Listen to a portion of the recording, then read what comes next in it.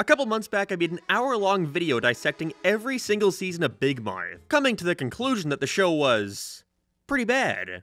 But not terrible. With how much folks rant and rave about it online, I was shocked to see that I actually find myself liking some of the ideas they went with. Mainly manifesting one's hormones through a monster called the Hormone Monster.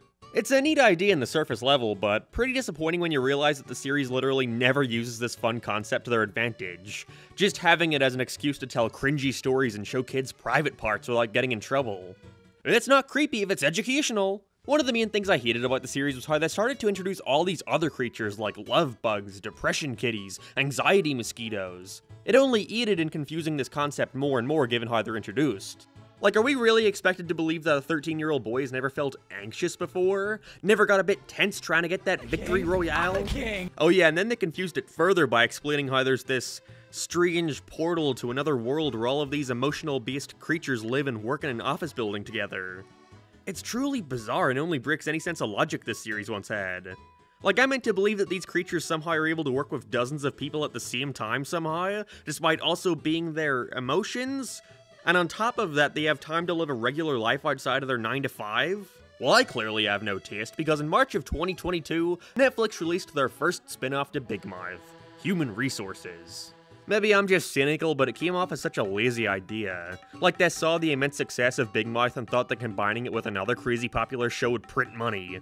In this case, it's literally like they pitched it through the prospects of Big Mouth meets The Office, of all things. So the show's gonna be like Big Mouth? Well, Big Mouth meets The Office is how we sold it. Oh, I'd watch that. Oh, great, I'm glad they spent the first minute of their show basically confirming how lazy of an idea this was. Saying all this, however, I watched the first two episodes when they were initially released, and I actually find myself not absolutely hating it.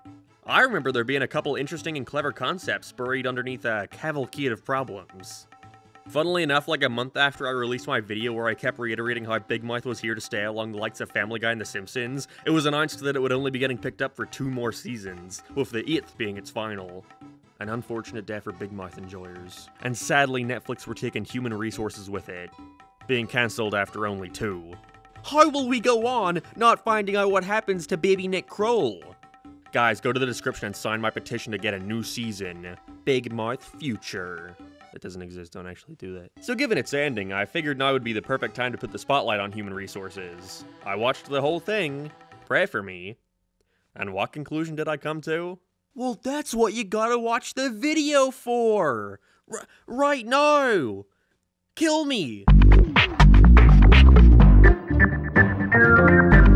Human Resources Season 1 kicks off well, okay, after the funny epic meta moment, by introducing us to our main protagonist, Emmy. Yeah, I was shocked to see them have some restraint and not have Maurice be the main character. I'm glad they recognized he works best in small doses. No, instead, she's the bumbling, quirky assistant to another love bug who works at the office. If there's one way I could describe her character, it would have to be this image. She's loud and obnoxious, gets drunk all the time, just a total mess. But what-oh, her boss has just been fired for undisclosed reasons, and so now she's gotta take over. Honestly, when hearing this premise, it sounded like a great idea for a show. No, really. You know, in a perfect world where Nick Kroll was competent, this would be a series that sees our main characters tackling a different human every episode, dealing with their emotions and helping them get through whatever problem they currently have going on in their life. You know, if you think that's what it's gonna be about, then you're right, partially. See, if they did that, every episode could be something completely new. It allows you to cover a variety of different subject matters that could be relatable to adults. But no. Instead, the entire thing sees her being the love bug replacement for her boss's kiss, this lady who's just had a baby. So every single story following her doing her job has to do with this same lady, dealing with her husband and baby. The variety instead comes from the other creatures and who they're following. However, it's the same people, every time. This guy who likes basketball, this old lady. There are certain episodes where they go into showing them overseeing new characters, and huh, what do you know? They end up being some of the most interesting out of the entire show. Like, there's this one where we follow a girl in high school who's going to the same college as her girlfriend. Only issue is she just got accepted into a better school. So now she's got to decide whether or not to follow her love bug or her business goblin, her sensible something. Gonna be honest, I did not bother remembering her name. It's bizarre because when I describe it, you can't help but wonder how they could fuck this up so bad. They had gold here with the premise to human resources. Every episode can mix and match different emotions together to see how they work off each other, to end on delivering some profound message about the way people think and how their feelings can either clash or harmonize. But they never really execute upon this. They're more interested in using this setup as a jumping ground for their hilarious jokes. Follow me on TikTok. You are on TikTok? Yeah, I invented a dance called the leaky diaper. I have two likes. That's also not to mention we spend just as much time in the monster world, which defeats the whole fucking purpose and only confuses things tenfold. They don't even bother trying to explain how the rules work here. They knew it made no sense. Again, it bears repeating because this is the groundwork to your show. How is a monster supposed to deal with a person's single emotion, be ready to be called upon at a second's notice, but somehow works a 9 to 5 and still has time to go back to their office to do monster paperwork and stuff, while doing all that for multiple people at the same time? Why would God do this? Most episodes not only have an S story, but also a B story and a C story. And because of this, none of them are allowed to be fleshed out that much because the writers want to cram in as many creatures into these 10 episodes as feasibly possible. They expect you to treat this like it's The Office. They expect you to care about every single one of these monsters and what they've got going on in their life. If anything, I'd argue they spend more time on their workplace shenanigans compared to their infinitely more interesting job. Oh wow. The rock guy has fallen in love with love bug number 3, but she's dating another guy. Wait a second, is that guy? But that's Emmy's old boyfriend. How is she gonna react to this? Boy, I sure can't wait for this riveting payoff. Like, I genuinely think that's how the writers expect you to react to this shit. They bring back all your favorite big mouth characters like Maury, Girl Hormone Monster, Connie, I think, Depression Kitty, and the Shame Wizard, all back again to do the exact same things they did in Big Mouth. See, it's kind of hard to have a show focusing on any one of these guys when you know how they're going to react to every situation. The Depression Kitty wants to make Emmy's client depressed? Who could have guessed? The Hormone Monster talks about dick and sex. Really breaking new ground there, aren't we? They become so desperate to recapture the lightning in a bottle that was Big Mouth that for an episode they literally just have Andrew come back to make the same jokes he makes in Big Mouth. I get it, he jerks off. I just don't see what the point in this show was. I'd get it if this was like a sequel series or something, but no, they're running concurrently. There are plot threads set up in human resources that you have to watch Big Mouth for to get the payoff, and vice versa. For example, in Big Mouth, one of the fucking seasons, I don't know, I'm not watching it again, Maury is randomly pregnant all of a sudden. I guess people really need to watch the spin-off? Yeah, they watched it. You, you didn't watch it? I can't watch shows with my friends in them. It just takes me right out. So that's fine, I guess, he's just now pregnant. But he gives birth to the baby on Big Mouth, not human resources. I hope you like both of these shows because if you want to follow along with the plot, you gotta watch both shows in order. But I guess fuck me for caring about the plot of Big Mouth, that was my mistake. It all comes off as a desperate attempt to force viewers into watching both shows. Evidently, the attempt did not work. And speaking of not working, it's so, so ugly. I don't know how they managed to make it look worse than Big Mouth. These new monster designs, while fine in certain places, I actually like the Logic Rock guy a ton. He's probably the best character in the entire Big Mouth franchise. But we have others who are just hideous like uh, what's her fucking name? Like the other show that I've said the name of too many times, the only moment where they ever try to get ambitious with the animation is during their musical numbers, which are just as disturbing and gross as said unmentionable previous show. I'm afraid if I say it again, Nick Kroll is gonna come out of my mirror and do stand up comedy for me. Like, I didn't need to see up close shots of a woman's nipples singing while covered in sores and cuts from her baby biting it. It's terrible. Somehow not as disgusting as Big Mouth. Oh, fuck! I'm being very mean today, I recognize that. I apologize, it's just I spent my entire day watching fucking human resources. Okay. Is there anything I like about the show? No, that's a joke, okay, for real this time. There is actually one subplot in Human Resources that I like a lot, and it's the only one that I feel like fully executed the great potential for the series. We're introduced to this old lady living in an old folks' home. Emmy is mentoring this guy love bug to realize what it truly means to feel love or some junk. We see them escape into her memories, revisiting all these special times in her life, before everything starts to crumble apart and it's revealed that she has Alzheimer's. They're able to visualize her mind collapsing the second her immersion is ruined with her freaking out and not recognizing her son. It's really strong and well done. Emmy learning how fine a line there is between love and hate. The meal love bug, didn't remember the name, seeing how overindulging in this love for her past memories can actually be a bad thing. I wasn't expecting them to bring her back, but they do towards the end of the season, with her granddaughter, who was actually the trans kid from the summer camp season of Big Mouth, taking her out on an adventure. The love bug slowly realizing that she's dying and he's not ready for that. He wants to keep reliving these memories till the end of time. They even pull in her son having to deal with Keith grief, played by Henry Winkler. Him having to accept that his mother won't be around for much longer and he has to process that before it's too late. They actually had the balls to end it with her dying, and it's one of the only moments in the entire season where they set something up and gave it a satisfying payoff. Kinda loses me in the last couple minutes when the granddaughter can suddenly see the love bug and he becomes hers now. Like we had a full plot in that season of Big Mouth of her being in love with Seth Rogen. That is not a joke. But why wouldn't she have a love bug then? But then again, who cares? I also really enjoy when they finally reveal in episode 8 why the previous love bug Emmy was the assistant for got fired. And it's because she fell in love with a human who could actually see her. Doesn't make a ton of sense considering we're meant to believe this human somehow didn't have any emotion creatures of her own, but hey, I don't mind them bending the rules when they actually do something with it. We see their bond growing more and more, Sonia getting ready to quit her job as a love bug to go be with her, before realizing that the reason the lady was able to see her was because she was schizophrenic. Sonia realizing how crazy this all is, and that being with her will only cause her mental illness to worsen, and so she lets her go. Huh. It's funny, it's almost like your audience connects with your characters more when you try to be earnest. Interesting. But did you also know that this is a Netflix show? Oh, Two shows on Netflix. The meta humor has unfortunately not subsided with this new series, and it's taken me until very recently to realize why this stuff bothers me so much. It's lazy. Where's Walter? Oh, Walter's part of the A story this episode. The problem with these jokes aren't that they're meta, it's that they're easy. It feels like a cheap laugh. Like you don't have to put any effort into your writing because the average person finds this shit hilarious. I recently watched this other Netflix animated series, Tear Across the Dotted Line, which was very good. I want to discuss it at some point in the future, but the series is super personal to the creator. He narrates the whole thing and voices all the characters. A couple weeks it returned for a sequel series, This World Can't Tear Me Down. And not as good, but still solid. But something I noticed is that it's incredibly meta and self-referential. They make these exact same Netflix jokes, but somehow it works. Please excuse me, I'm going to do an interview with Cosmopolitan and make a series for Netflix. Blessed are ye who are in line for benefits. That's when I realized it's all about execution and purpose.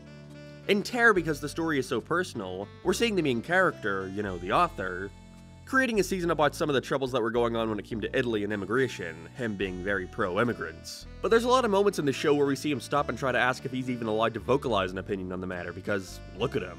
He's trying to relate and speak for the common man when he's not the common man. He's literally a famous cartoonist and is doing this from within his own Netflix series. It's very meta, they say the word Netflix like 20 times an episode. But it works because of the context. The meta commentary is used as a jumping ground for a discussion, instead of the entire joke just being, lol, Netflix is something you watch. It's safe to say season 1 of Human Resources left a lot to be desired, with its main issue being that it doesn't execute upon this idea very well at all. But I will say, there is a glimmer of hope for season 2, with it ending on Emmy getting a boatload of new clients to become a love bug for. So before definitively saying it's a bad show, it's probably worth giving it a chance to prove itself. So let's go, human resources. Wow me. Holy shit, is that a Sonic reference?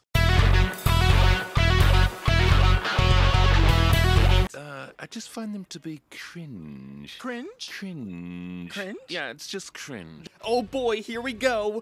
Back at it again with Human Resources Season 2. I, I, w- wait a minute. I, I think I actually like this one. What the hell? Season 2 begins the only way it could, giving us a literal slideshow of what happened in Big Mouth to explain why the hormone monsters had their baby off screen. I think it's a perfect way to catch people up from last season. Glad to see they still haven't lost their wit. Yeah, just gonna get it out of the way now. This show is still insanely unfunny. Sometimes characters have twins, and that's just good storytelling. I forgot to mention it last season, but there are these random moments where they're clearly trying to have visual humor, but it's so infrequent that it confuses me every time it comes on. Like, this is a show about dicks and sex, why are you also trying to be Monsters Inc.? Now, where this season really starts to improve is with the characters. They start to get way more fleshed out to the point where you actually care about them. We kind of drop Emmy getting a bunch of new clients to instead focus on one again. But it's not as big of an issue, because we're also introduced to a bunch of new clients for the other creatures to be around. Like this lady, this guy, and this kid. All memorable characters. Yes, I remember their names. Why are you stupid? Why are you even asking this? First of all, I gotta talk about our few new characters for the season to take the place of Gavin. Wait, who's Gavin? Oh, oh, that's right. Half of these characters are so utterly forgettable that I forgot to mention him at all. Hormone Monster, this guy, very cocky, pun was unintentional. Oh yeah, he dies near the end, fell off a building, was very emotional, promise. So anyways, in terms of new major characters, we have Hope, who I find kind of annoying, but I also think that's the point. As well as this female Logic Rock lady. It took me way too long to realize that she was voiced by Miley Cyrus. I think the writers might have worried about that, so thankfully, they came prepared. Remember when you were a kid and I knew that Miley and Hannah Montana were the same person? You did. I still can't believe it. In this same episode, we see a poster on the wall that is literally just a trace of Invader Zim. There is not even an attempt at parody here. So during this season, we see the Logic Rock fella pursuing the love bug Rochelle, after that purple guy from last season breaks up with her, which begins turning her into a hit snake. I think they really wanted you to root for them like Jim and Pam from The Office, but I could not give less of a shit about her. I don't know why they treat it like she's the main character all of a sudden. A majority of these episodes are about her. She even gets to start the final song. Now, while I wasn't a fan of these office escapades, I ended up really enjoying what they had going on in the human world. They're able to cover a lot of different grind while still finding a way to connect everything together. It feels way more in line with how I thought Season 1 was going to be, with us seeing these people deal with their problems with two of their emotion creatures being at odds with one another. First of all, we got this lady, Emmy's new client. That's where she meets Miley's... Mi Miley Stone, sis? Miley...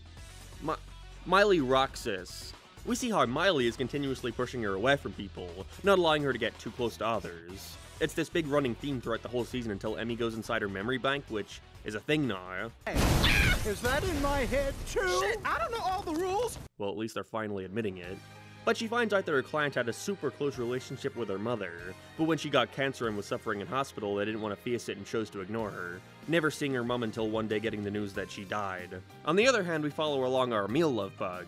I'm so sorry, I could just Google names, but I really don't want to. We see him helping an old man who's just lost his wife. He kinda has to learn the exact same thing as last season, to stop holding on to past memories and to move forward. But they also throw in a great message of the man finally needing to discover more about himself now that his wife is gone.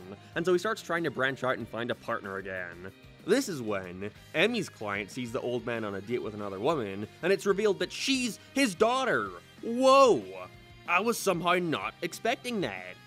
Now both of these disparate plot threads have started to intertwine, and we begin to see the way in which both of these creatures have been helping their clients start to clash. The daughter not being able to handle that her dad is finally moving on and letting others in. On top of that, we've also got this lady who's an acclaimed offer but can't seem to find people she can connect with. People either treating her differently for her disability, or simply trying to use her as a stepping stool to move higher up in their industry. It follows through really well with another great episode, where we follow a boy who's got a disability that prevents him from speaking, yet he wants a toy truck and so we see the creatures trying to find a way for him to communicate to his parents. Now, the same author lady has been advocating for this kid the whole season, because of the way his school has been mistreating him because of his disability. But when he finally does begin to communicate with his parents and they appraise him for it, she starts to worry that it'll just be a repeat of what happened with her mother. That because he was able to overcome his disability, they'll start expecting stuff from him that he just simply can't accomplish, which results in her blowing up at the parents, telling them to stop praising him. It's such a tonal whiplash compared to last season to see the writers actually managing to allow scenes to play out, with no fear of needing wacky sex jokes every 10 seconds. Now, don't worry, Hormone Monster fans, there is just as much Hormone Monster goodness as before, although now with the addition of a kid character because that always works. It's mainly just your average plots you'd expect from there being a kid now, who can also somehow rapidly age. Oh, they're playing sports together, but the kid is better than the adults. Oh no, he doesn't want to follow the family business of being a hormone monster. He wants to be a shame wizard. What college is he gonna go to? That shit. You know, at least when I have my expectations for these characters so low already, I can just kinda tune these scenes out and turn my brain off. It's only unfortunate because there are so many episodes in the season that have almost nothing to do with their job, especially near the end of the season. We have an entire episode where this little germ guy is being spread around the office and they all get sick. The monsters are having a party and realize the Shame Wizard isn't that bad of a guy after all. The final episode of the entire series leaves a pretty bad taste in my mouth because it's just one big Die Hard parody. And you can't have a Die Hard parody without the characters constantly pointing out that what they're experiencing is similar to that movie Die Hard. This idea is so lazy that Rick and Morty literally did the exact same thing with the exact same jokes years ago, and it was equally as unfunny. There are still glimmers of hope, however, sprinkled beneath. Like the Germ episode is where we finally learn more about Miley Cyrus's character, and I like it a lot. We learn that she's so closed off from others because she fears attachment. She lives forever and therefore has to witness countless clients of hers die, and it's turned her into, well, stone. It's times like this where I can actually see the people behind the show having an idea. And it comes together to create a season that, well, yeah, is a little messy and nowhere near amazing or anything, but it's solid. I enjoyed my time with it. If you want my advice, if you ever find yourself interested in checking this series out for whatever reason, start with the second season, you'll have a much more pleasant time. It actually left me feeling kind of bad that the series ended here, when it felt like they had just started finding their groove. Who knows, maybe if this series went on for another 8 seasons like Big Mouth, people would be praising its positive aspects a lot more. But then that just begs the question. If this show is infinitely better than Big Mouth, why did it feel? And I think the answer mainly has to lie with the audience. See, Big Mouth is in a very fortunate place I like to call riding the line. Sure, it's a show for adults that focuses on awkward moments from your childhood that anyone could relate to, like fucking your pillow and getting it pregnant. You know, it's something for adults to watch and reminisce about, not to mention laugh at all the funny pee pee poo poo jokes. But if I were to take a guess, I'd have to say a majority of Big Mouth's audience are probably under 18. The people who are currently going through the stuff the series is poking fun at. You know, it's more relatable. Well, not to mention also laugh at all the funny pee pee poo poo jokes. Kids want to watch a show for adults that still appeals to their younger sense of humor, and adults want to revel in a bit of absurdity every now and then, as levity from their terrible adult lives. You know, it's like if Family Guy created their Cleveland show spin off, but instead of it just being Family Guy, again, it was a workplace comedy where every episode we see some story revolving around Cleveland. What was his job in that show? A cable TV installer? I'm enthralled. This shit isn't appealing to kids, and I can't imagine the adults market was large enough to warrant another season. Even still, though, human resources is pretty alright. I'm just glad we're approaching the end of Nick Kroll's reign of terror. No, I'm not making a video on Big Mouth season 7 and 8. What are you, crazy? no, that would be that would just be absurd. I, I couldn't do that to myself. Help me.